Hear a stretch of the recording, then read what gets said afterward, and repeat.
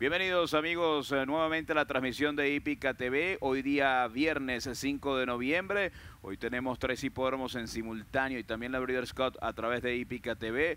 Y por supuesto usted podrá disfrutar de cada una de esas competencias. Y este servidor le tocó el show de pronóstico para el Stronas Big Five y luego el, show de pronóstico de Laurel Par después de este Stronas Big Five. Vamos a entrar en materia con lo que será el Stronas Big Five. Recuerden una jugada de un dólar, 12% de take cow comenzando en la séptima carrera la pata A en Lauro del Paro. Vamos a ver eh, las competencias que se van a significar en el La pata B es la octava de Godfrey Par, la pata C la octava de Lauro del Par, la pata D la cuarta de Golden Gate Field y la pata E la décima de Godfrey Par. Son cinco competencias. Recuerden, 12% de takeout. Vamos a ver el ticket del equipo de Ipicateo, los tickets, mejor dicho. Y está el ticket del Caribe Palma por 96 dólares con una base, una línea. En la pata C el número 7 y el ticket de este servidor por 108 dólares que lo vamos a tener en pantalla. Y está en la pata D el número 10 en la pata 10 en la pata D el número 10 es nuestra base nuestra línea para este ticket. 108 dólares el ticket.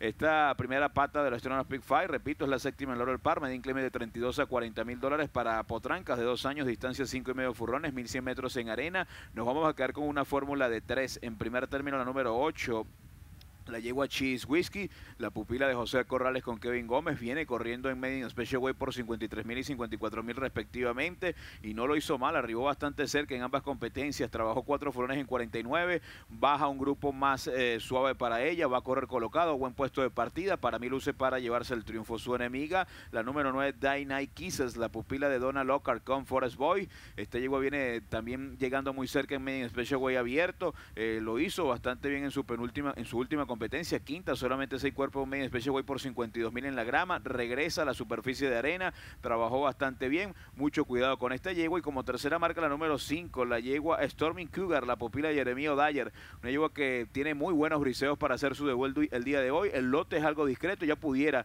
si tiene algo de clase, lograr el triunfo, así que 8-9-5 en lo que será la séptima competencia en Laurel Park, es la pata A. Pasamos a la pata B, mis amigos, esta prueba es la Cellar Shearers Stakes para potrancas, para yeguas de 3 décimas años, la distancia una milla 70 yardas en tapeta, fórmula de 3, me quedo en primer término con TikTok Famous, la de Safi Joseph Jr., me sorprende mucho el dividendo en el Money Line, 6 a 1 en la pizarra, viene de arribar segundo a tres cuerpos y tres cuartos en su última presentación en un stay por 75 mil dólares, trabajó bastante bien, repite Michel Jaramillo, creemos que si se adapta a la tapeta será difícil de derrotarla, su enemiga la número 2, la llevo a Belísime, la pupila de Brendan Walsh con Romero, con Romero Ranzai Marash en su penúltima con un Presque Island en pista sintética, lo hizo bastante bien. La llevaron a Woodbine también a correr en sintética con Stakes y no lo hizo mal. Arribó sexta, siete cuerpos de 4-2 con un segundo lugar en pista sintética. La traen a la tapeta del hipódromo de Godfrey Park. Tiene algo de velocidad. Va a correr allí tercera, segunda detrás de las punteras y creemos que ante este grupo pudiera llevarse el triunfo. Su max, y la otra máxima rival la lleva Puppy Monkey Baby.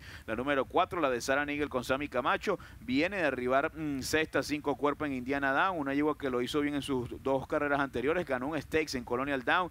Va a correr y pudiera ser una sorpresa en esta pata B del Astronaut Big Five. 7, 2 y 4 en la pata B del Astronaut Big Five. Pasamos a la pata C. Esta prueba es un option Clemente de 50 mil, yeguas de 3 y más años, 6 furnos, 1200 metros en arena. Sacaron la grama el día de hoy en Laurel Park y vamos a estar explicando en el show del pronóstico de Laurel. Nos quedamos con una fórmula de 3. En primer término la llevó Quiet Company, la pupila de Maraya Montoya con Horacio Caramano. Segunda, cuerpo y medio en su última presentación, mejorando bastante. Anteriores había corrido Stakes, se había llegado bastante cerca. Bien trabajada, cuatro en 47-2 y al sacar la grama esta yegua potencia su favoritismo, lo hace bien en la pista de arena esta yegua, mucho cuidado con ella, en su máxima rival Bunting, la pupila de Ronnie Jekin con Xavier Pérez, viene de ganar en su última competencia en gran forma, otra que al sacar la grama potencia su favoritismo, tiene cuatro victorias, cuatro segundos y tres, y tres terceros lugares en la pista de arena, lleva un buen puesto de partida, atropellará con fuerza y una que entra a la carrera es la yegua Don't With Full Ya, la de Lacey Gaudet con Jevian Toledo, segunda, cuatro cuerpos y medio detrás de Mouquis, que está invicta, esta llegó Mouquis, ella tiene velocidad la número 7. Eh, al sacar la grama tiene de 10-4 esta yegua. Mucho chance que tiene velocidad y pudiera tratar de ganar de punta a punta. 10-9-7 en la pata C del Estrona Speed 5. Pasamos a la pata D.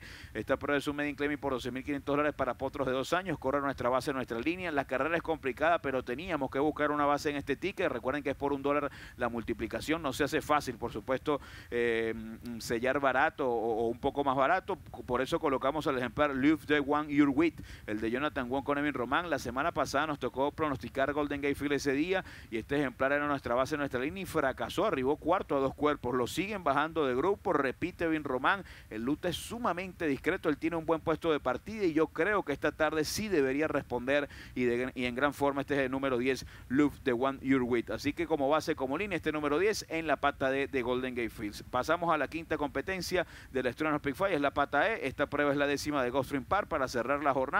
Nos quedamos en primer término con Dreaming Wing, el de José Pinchín o la de José Pinchín con Sammy Camacho. Tercera, solamente un cuerpo en su última presentación. Es cierto que corrió con 113 libras, le suben 9 libras en comparación a su última competencia, pero colocan a Sammy Camacho. Mucho chance para esta yegua. Su máxima rival, señorita Salsa, me gustó mucho lo que vi en su última competencia. Venía atropellando con fuerza. Ese día Defendant salió disparada, era una yegua muy superior y ella arribó segunda, cinco cuerpos ganándose a varias de las que participan en este grupo. Y como tercera marca la número 2, Sílabus, la pupila de Luis Domínguez con Giancarlos Díaz. Una yegua que es cierto que sube 7 libras en comparación a su última competencia, pero viene llegando en sus últimas eh, cuatro carreras bastante cerca y si se presenta alguna pelea ya pudiera caer con fuerza y sorprender. Así que 7-8-2 en la pata E del Strong Speed Fight.